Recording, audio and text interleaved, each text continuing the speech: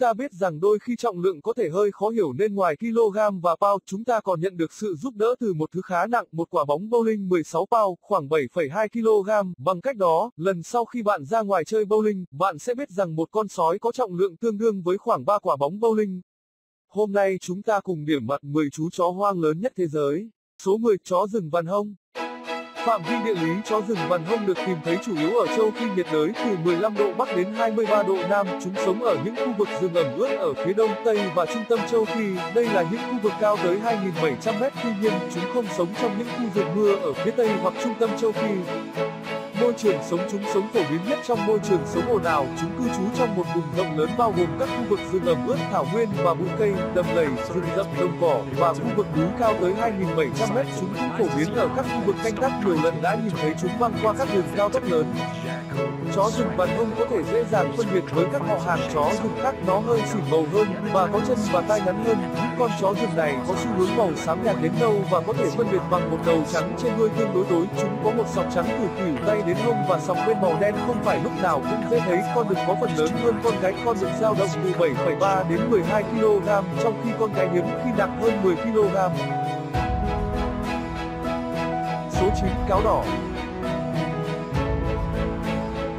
Phạm vi địa lý cáo đỏ được tìm thấy ở hầu hết bán cầu Bắc từ vòng Bắc cực đến Trung Mỹ, thảo nguyên của Trung Á và Bắc Phi, loài này có sự phân bố rộng nhất.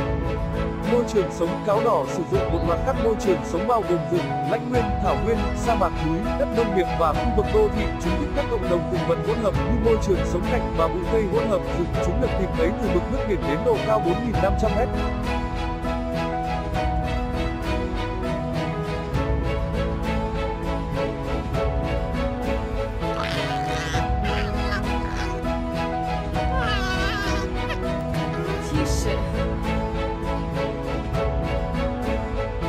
Số 8 cáo Culpel Phạm vi địa lý cáo Culpel được tìm thấy ở Nam Mỹ từ Ecuador đến miền Nam Chile và Argentina. Chúng được tìm thấy trên khắp dãy Andes và thảo nguyên Patagonia của Argentina. Chúng cũng có thể xuất hiện ở tỉnh Nariño, phía nam Colombia.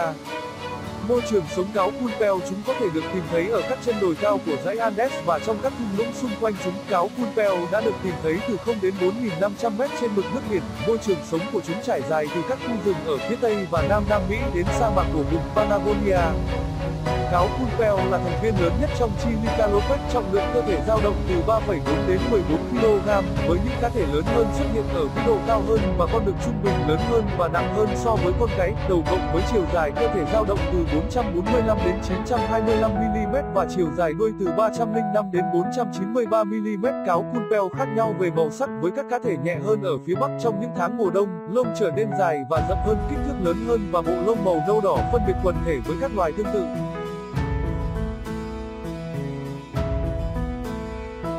Số 7. Sói Ethiopian Phạm vi địa lý sói Ethiopia có phạm vi rất hạn chế, nó chỉ được tìm thấy trong 6 hoặc 7 dãy núi của Ethiopia. Điều này bao gồm các dãy núi Aksi và Bêu ở phía đông nam Ethiopia, dãy núi Simien, đông bắc Swakopmund và Mt Kuna. Số lượng lớn nhất tồn tại trong công viên quốc gia dãy núi Bêu với 120 đến 160 cá thể. Môi trường sống, sói Ethiopian được tìm thấy ở đồng cỏ Afroalpine và vùng đất nóng nơi có thảm thực vật cao dưới 0,25 mét. Nó sống ở độ cao 3.000 đến 4.400 mét. Con sói Ethiopian có thân hình dài, trông mảnh khảnh, chúng có bộ lông màu đỏ với những vết trắng ở chân, dưới bụng, đuôi, mặt và cằm. Ranh giới giữa bộ lông đỏ và trắng khá khác biệt. Những vết trắng trên mặt bao gồm một lưỡi liềm trắng đặc trưng bên dưới mắt và một đốm trắng trên má. Con cái thường có màu nhạt hơn con đực và có tổng thể nhỏ hơn, có 5 ngón chân ở bàn chân trước và 4 ngón chân sau. Con đực đo từ 928 đến 1012 mm và con cái từ 841 đến 960 mm. Con đực nặng từ 14,2 đến 19,3 kg và con cái từ 11,2 đến 14,2 kg. Số 6. Chó hoang châu Á buồn Alpinus Phạm vi địa lý từ dãy núi Altai ở Mãn Châu ở Trung và Đông Á, phạm vi của nó lan rộng về phía nam thông qua các vùng rừng của Ấn Độ, Miến Điện và quần đảo Malaya. Ba chủng tộc của chó hoang châu Á tồn tại một mình ở Ấn Độ. Môi trường sống, loài này thích không gian mở và thường có thể được tìm thấy trên những con đường rừng, lòng sông, rừng rậm và lối đi, nơi chúng nghỉ ngơi trong ngày. Phạm vi săn mồi của chúng là khoảng 40 mét vuông. Chó hoang châu Á cũng có thể được tìm thấy trong thảo nguyên rừng rậm và các khu rừng rậm của đồng bằng cũng như các ngọn đồi. Chúng không bao giờ được tìm thấy ở đồng bằng và sa mạc mở. Chó hoang châu Á là một con chó có kích thước trung bình với chiều dài đầu thân 90 cm, chiều dài đuôi 40 đến 45 cm và chiều cao vai 50 cm. Năm sói đồng cỏ Phạm vi địa lý chó sói có nguồn gốc từ vùng cận đông, chúng được tìm thấy trên khắp Bắc và Trung Mỹ. Chúng bao gồm từ Panama ở phía Nam, phía Bắc qua Mexico, Hoa Kỳ và Canada. Chúng xuất hiện ở tận phía Bắc như Alaska và tất cả trừ các phần cực Bắc của Canada. Môi trường sống chó sói cực kỳ thích nghi và sử dụng nhiều môi trường sống bao gồm rừng, đồng cỏ, sa mạc và đầm lầy. Màu sắc của chó sói thay đổi từ màu nâu xám đến màu xám vàng ở phần trên cổ họng và bụng có màu trắng, chân trước hai bên đầu, mõm và bàn chân có màu nâu đỏ, mặt sau có lông màu tối và lông bảo vệ dài, màu đen tạo ra một sọc lưng màu đen và một chữ thập tối trên vùng vai, đuôi có chiều dài bằng một nửa cơ thể, có hình chai với một đầu màu đen, ngoài ra còn có một tuyến mùi nằm ở gốc vây lưng.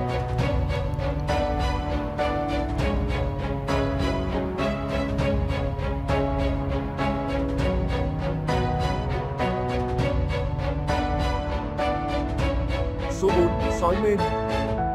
Phạm vi địa lý sói mên được phân phối từ cửa sông Parnaíba ở phía đông bắc Brazil đến Pampas del Hit ở Peru và nam qua Chaco của Paraguay đến Rio Grande do Sul, Brazil. Phạm vi trước đây của nó bao gồm một phần của Uruguay và Argentina.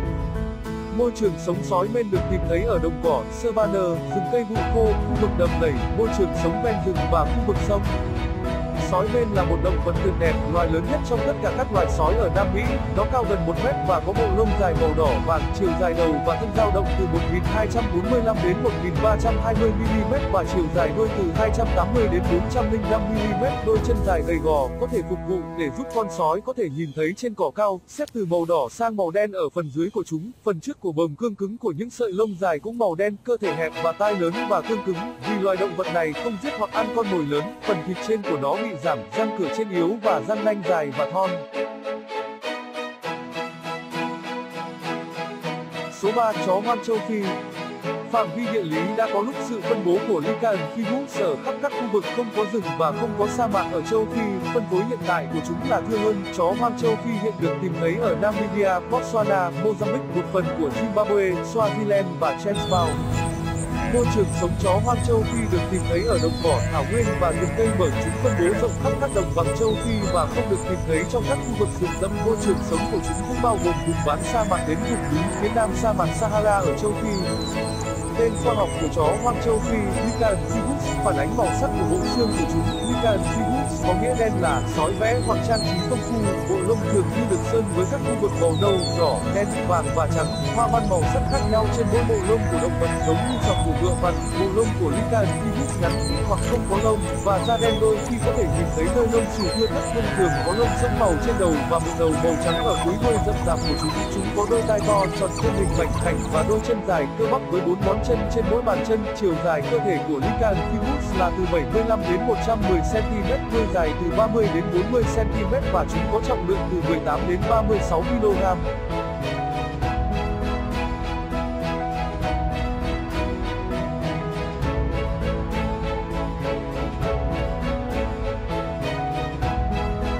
Số 2, sói đỏ. Phạm vi địa lý trước đây, phạm vi của những con sói đỏ bao gồm hầu hết các môi trường sống ở miền Đông Nam Hoa Kỳ. Tuy nhiên, phạm vi loài này đã bị giảm trong thời gian lịch sử đến cực Đông Nam Texas và Tây Nam Louisiana. Hiện tại, những con sói đỏ đang được giới thiệu lại vào các khu vực trong phạm vi lịch sử của chúng Alligator River ở Bắc Carolina và Great Smoky Mountain ở Tennessee và North Carolina. Môi trường sống trước khi trở nên nguy cấp, những con sói đỏ sinh sống ở vùng núi, rừng thấp và vùng đất ngập nước. Hiện tại, những con sói đỏ sống sót chủ yếu dưới dạng các quần thể nhỏ được tái định cư và giới thiệu lại ở vùng đầm lầy và vùng núi không thể tiếp cận sói đỏ được phân biệt với họ hàng gần nhất của chúng Canis lupus bởi kích thước nhỏ hơn, tỷ lệ tương đối hẹp chân và tai dài hơn và lông ngắn hơn. Sói đỏ có tổng chiều dài từ 1.000 đến 1.300 mm, chiều dài đuôi từ 300 đến 420 mm và chiều cao vai từ 660 đến 790 mm. Trong số những con sói đỏ, con ngực trung bình lớn hơn con cái 10%. Vào mùa đông, yếu tố màu đỏ của xương chậu chiếm ưu thế. Một cuộc lột xác hàng năm diễn ra vào mùa hè. Số 1 Sói xám Phạm vi địa lý Phạm vi ban đầu của sói xám bao gồm phần lớn bán cầu Bắc từ Bắc Cực tiếp tục về phía Nam đến vĩ độ 20 độ Nam chạy qua miền Nam Trung Mexico, Bắc Phi và Nam Á. Tuy nhiên, do hủy hoại môi trường sống, thay đổi môi trường, sự đàn áp của con người và các rào cản khác đối với sự gia tăng dân số, quần thể sói xám hiện chỉ được tìm thấy ở một số khu vực của Hoa Kỳ, Alaska, Canada, Mexico. Môi trường sống sói xám là một trong những động vật trên cạn rộng nhất chúng chiếm nhiều môi trường sống từ vùng lãnh nguyên Bắc Cực đến rừng, thảo nguyên và cảnh quan khô cằn. Là loài lớn nhất trong số khoảng 41 loài chó hoang dã, sói xám có kích thước khác nhau chủ yếu dựa trên khu vực sống tổng chiều dài cơ thể từ chót mũi đến chót đuôi là từ 1.000 đến 1.300 mm ở con đực và 870 đến 1.170 mm ở con cái, đuôi dài dao động trong khoảng từ 350 đến 520 mm, con đực có thể nặng từ 30 đến 80 kg, trung bình là 55 kg, con cái có thể nặng từ 23 đến 55 kg, trung bình là 45 kg. Màu lông của sói xám cũng thay đổi theo địa lý, từ màu trắng tinh khiết trong quần thể bắc cực đến hỗn hợp màu trắng với màu xám, nâu, cinnamon và đen đến đen gần như đồng nhất trong một số pha màu.